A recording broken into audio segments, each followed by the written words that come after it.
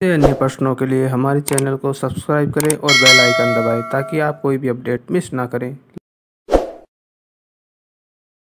प्रश्न जाखम बाँध कहाँ बनाया गया है? उत्तर जाखम नदी पर चित्तौड़गढ़ तथा उदयपुर में, में प्रतापगढ़ के आदिवासी क्षेत्रों में विकास हेतु अनोपरापुरा में जाखम बाँध बनाया गया है।